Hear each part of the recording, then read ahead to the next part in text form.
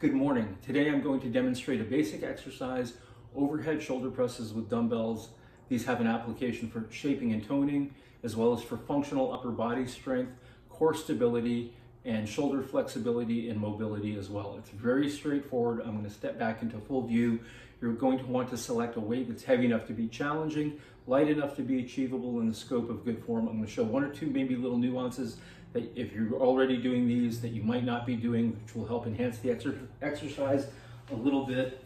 I'm going to take a couple of dumbbells. I'm going to stand with my feet wider than hip width.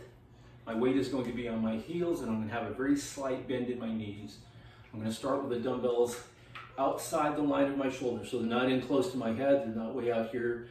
I'm going to start from a position as deep as I'm comfortable going outside the line of my shoulders and you'll notice my arms, my elbows are flared back so it's like so, not inside like this, inside like this, but the elbows flared back as far back as you can bring them.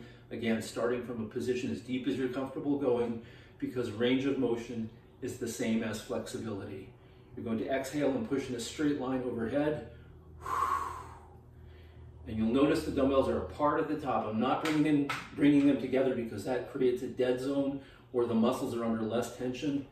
So you're starting wide my hands, if you follow the line of my hands, my hands are going in a straight line overhead. Complete stop at the top, take an extra breath or two.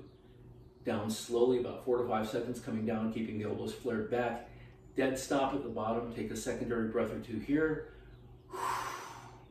So it's up overhead, the dumbbells are away from each other, not like so, not like this, but elbows flared back, straight line up, straight line down, dead stop.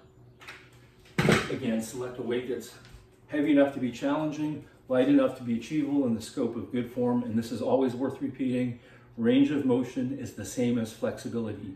The deeper you're able to go within the limits of any shoulder pain that you might have, the better mobility you're going to develop and the better flexibility in the shoulders. If you have any questions, hit me up and I'll be back again tomorrow. Thank you.